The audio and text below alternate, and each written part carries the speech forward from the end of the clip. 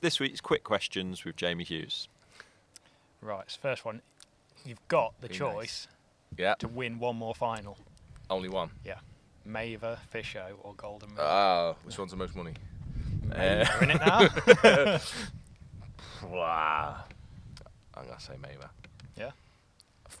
Is It, like it should be Fisher because that's what's given me the most in terms of everything. But Is I want Maver that just Maver. That Maver's being close a couple of times? It's like Yeah, I should have had that one. Maver. Yeah, definitely Maver. what that year with Winnie. Is that the one? No, weirdly not. Right, we're going. Rich, what have you started here? Right, no. I should have won the first one, the Andy Powell one. I was shocking, like unbelievably shocking. I think I had 34 kilo. I think he won it with 38, 39. Oh, was that back when it was at Larford? First ever one. Yeah. The amount of fish I lost because just through inexperience and bad feeding and everything, horrific. Honest, I would have thrown in that year. I should have had 60 kilo. I was useless. That's my biggest regret in fishing. That. Yeah. Yeah, that's the one I should have won. Um, yeah, that's probably the closest one I can think of. Anyway, yeah, yeah, Maver, Maver, Maver. Maver. Your biggest ever fish? Don't know. I, I think it, it'll be a catfish in Thailand. When I went to Thailand, definitely. Oh, How was that about like match fishing red- situation? Match, match fishing, don't know. I mean, no, it's just a normal one, a Mekong one, ugly one. That's not a normal catfish. Well, it's, it's normal, normal, catfish yeah, are like the Wells one. I've only caught one of them at Cudmore, a little diddy one. Have you? Yeah, little diddy, little diddy one. And they sent me down and said catfish there, so we caught some catfish. but, um, no, I don't know. Don't know. Never had a. That's massive. I want to weigh it fish. Yeah. I'd say I'd, somewhere between 18 and 20 pounds. I don't reckon. I don't know if I had 20 pounds or not. Yeah. So yeah, even if you have, you could have just you'd have probably just caught it, chucked it straight Chuck in it your in net, there. weighed it in. It'll gone be in. a Boddington or Larford or Barston fish. One of them it'll be. Yeah. I remember I caught one here. I'm off on one again. I caught one on Bridgepool. It was the last day of the festival, and I drew a dead dodgy peg up the top of bridge. It, who knows what number it was then? And um, ten minutes to go, I hooked one down the edge, thinking it was a barbel, and I've landed it 16 pound 12 ounce mirror. Biggest fish I've ever had at, at Heronbrook.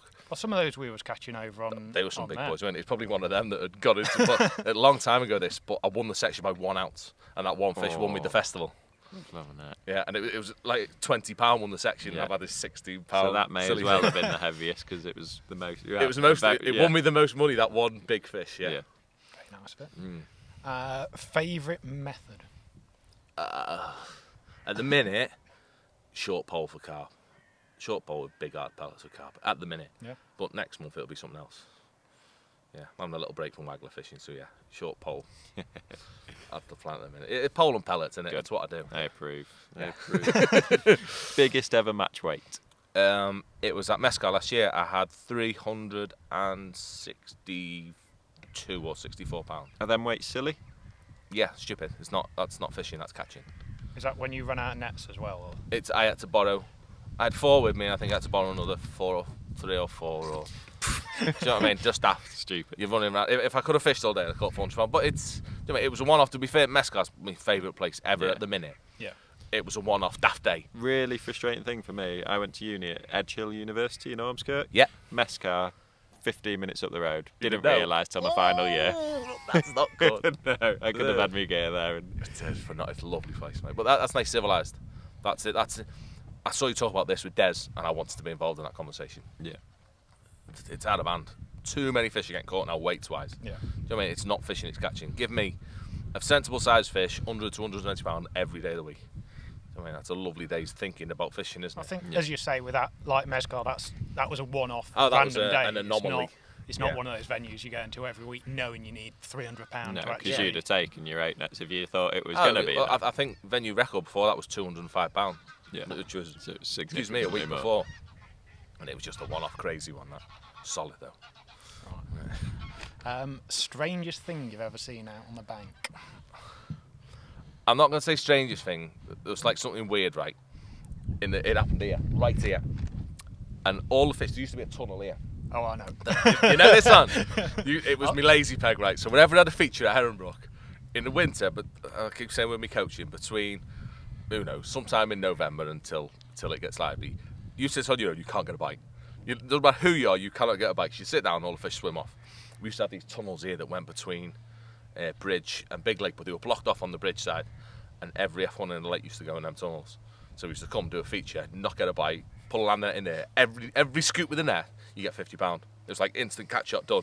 and we used to come and you, do that. You, you was on about it to us, and I was like, Did it? Have we Like, done yeah, it? Yeah, I was like, what, what's he on about? Like thinking you was over exaggerating, thinking you might get one or two sort. Yeah. And you've kind of like big with uh, a map four meter handles at the time, like pushed it right to the end. You like lift it up, you just because it's under your feet going behind you. You just like It's feel the ground shaking almost, and it's like every was every single like big like two three pound Thousands F1. of them, weren't there? It's like it must there must have just been like stacked up like Oh, you, you couldn't fit any more. I think it was cormorants. They used to get a few cormorants on there in the winter, didn't they?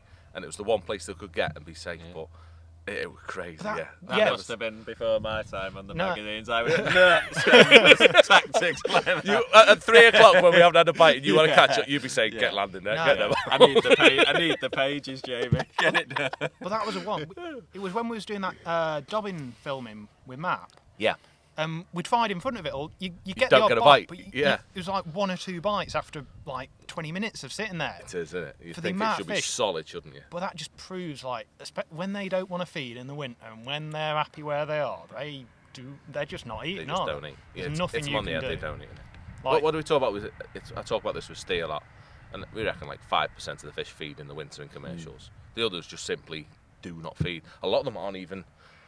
I'm going to say in the lake, but of course they're in the lake. But I've seen it on on Meadow here.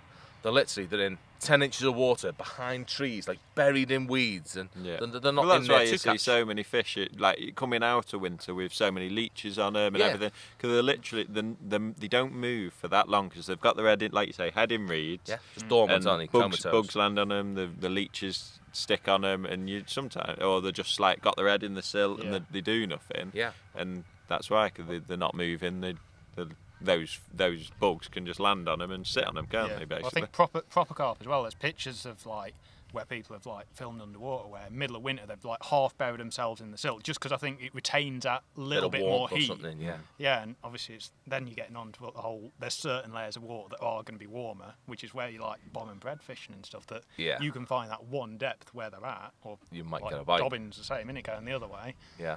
Where they're just going to be a big ball of them somewhere. Mm, and technical, I'm. I did. Did. It's not very quick fire questions. no. Is it? No. Angler you would least like to draw next to? Nathan every day. I know we've used Nathan as a butter joke. Nathan but- Watson. Yeah, Nathan Watson every day. Just he burns your brain out, doesn't he? he don't shut up all day. I like Nathan, but no, I don't want to be next to Nathan. Steve's just had him last two matches on the bounce. Oh, no. That, that hurts, doesn't it? But no, lovely lad, but yeah, he doesn't shut up. Lovely. In lad. fact, no, I'm going to change my mind. I'm sick of getting beat by Andy Power as well. yeah. Yeah, definitely. Don't want to be next to Power anymore. He beat me twice last year. No. Well, he's already been banned by. Um, has he been banned, Andy Power? Rob, I think. No, banned. Andy Bennett got banned. Bennett's banned. I'll ban Power if Oh, we're yeah. he? banning Oh, you're banning Power. Yeah. yeah. It's, uh, Has Nathan ever actually beat you no, Nathan's not caught many fish, has he? But on his like solid 18? Or he's a lovely lad. Yeah, but no. Did win fish show once. Did? Not done a lot since. No. Just moaned on Facebook. Um, 80 pound a bream or 250 pound a carp. Neither. Seventy pound F1s in the winter. That wasn't an option. Well, that's all I'm having. No, I don't know. having I can only catch F1, so what other options trying to give me? Seventy pound, uh, uh, seventy-seven on the Partridge Christmas match this year. Did you? Yeah. Did you win? Third it was. 150 anglers though. That normally win that. One, 77. one, mil- yeah, but Holbar was in in that one. Oh, that caught some big fish, didn't it? Mm. I'm Um, looking forward to that this year actually again. What are we on again? 80 pound a bream or 250 Yeah, carp. eight pound the brain. Feed, well, you're becoming a feeder master now, aren't Yeah, you? That's, that's, feed, feed an angler now. I've got to catch bream. they're very Look noisy geese. You're dog chasing them, Jake. no. They're just doing laps above us. Bit noisy. Uh, Let them pass. What the? So, ni- nice bit of ambient noise as people like drive into matches. What's going on there? I'm a little fat. I think they go and roost somewhere now. It's roosting time. Them little six have just got left behind there, like Mr. Yeah. Draw. Yeah. Last question. Who is your uh, all-time angling hero?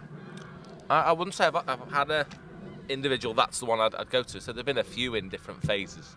Definitely, Mark Pollard was definitely my first one. Yeah. When I was first aspiring to be a match angler, And was, now you're uh, you work alongside uh, side him him. up on you bash him up on commercials. Oh. Horrible. That. Upset. It was upset. It was actually upsetting to watch. Was- I didn't like doing it. but anyway, I felt Yeah. so sorry. For him. Polly had definitely been one of the first. I'd say Neil Machin and Andy Morse were two I massively looked up to in the, the early commercial days. I say they were the the, the first to fish pellets. I mean, fish pellets properly, they made it. I mean, a very very popular method. I'd say them, Neil and Andy, they were huge. Very much so, Neil. Yeah. So I've become I'm mates, very good mates with the pair of them now. Yeah. Don't see Andy as much as, as much these days, but yeah. Um, and since then, things have changed a bit. Now I, I, I just talk to sort of three people a lot. I talk to two of my very good mates, or three of my very good mates. Uh, Stay Openshaw, Matty and little Craig, little Craig Oldstraw. Yeah. Do you know what I mean? They're all phenomenal anglers, and they, they help me out a massive amount. They're bouncing ideas off. I mean, they, they become. I mean, I'm I'm very in a fortunate position to mix it with the best anglers in the country, the best commercial anglers in the country. So they're, they're not quite as. You don't look at them in the same Yeah. light anymore now. They're just. It's Andy Power, it's Andy Bennett, they're, they're my mates, I know them. Yeah. Now it's a little bit different. I, I miss all them days of being a kid and looking up and thinking, wow. Do you know what I mean? Being in awe of. And I remember Alan Scotthorne and I went the Oaks and this was years, years and years ago. And Alan Scotthorne almost two pegs when I was like, wow. Do you know what I mean? That's Alan. And he smashed me up on hide with meat shallow or something dead random. But I miss them days of being in awe of, Yeah. of seeing someone. We'll do it with Terry now. I want I want to meet him with Terry Rich. Sort it.